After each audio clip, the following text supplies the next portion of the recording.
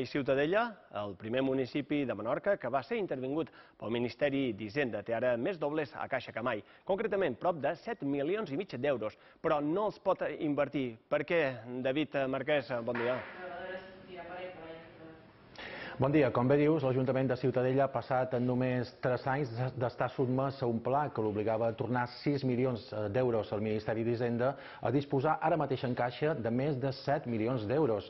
El darrer exercici, el de l'any passat, s'ha tancat amb un superàvit de 5 milions i mig, una situació, però, que no li permet destinar aquesta quantitat a inversions o a millora d'obra pública, tot i que la seva estabilitat pressupostària no està en risc. De fet, el deute, que fa uns anys fregava els 30 milions, ara és només només d'un terç, de poc més de 9 milions i mig d'euros, i tot degut a la llei Montoro. No és un cas únic a Menorca, però sí el més cridaner. De fet, totes les institucions han aconseguit remuntar la seva situació.